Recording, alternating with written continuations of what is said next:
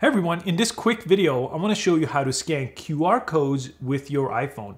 So QR codes are meant to send you quickly to a website or to a product, and iPhone has it built in, the scanner built into the iPhone with iOS 13 or later.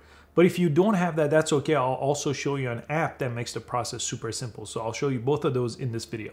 So to scan a QR code on your iPhone, go to the settings app here and then scroll down to your camera. So we're gonna go all the way down here to camera. And right here, scan QR code needs to be on green. So it needs to be turned on.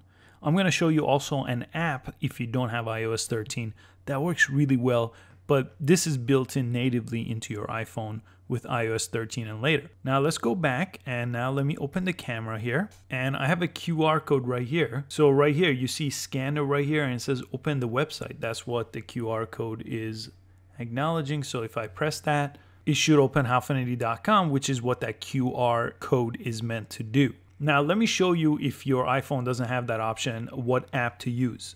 Go ahead and go to the App Store here and look up QR code reader. Just go ahead and search for that. And one of my favorite apps here is this QR reader for iPhone. Go ahead and download and open that app. And I'm on the home page here. So if you see on the bottom, I'm just on the home. I want to go to the camera icon. And same thing, I could go ahead and just hover over the QR code on my computer here and immediately scanned it and took me to that website. So very fast, very easy to use.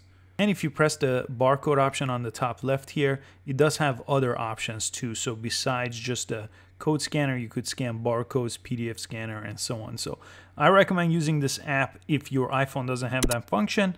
Otherwise, the iPhone native capability works pretty well.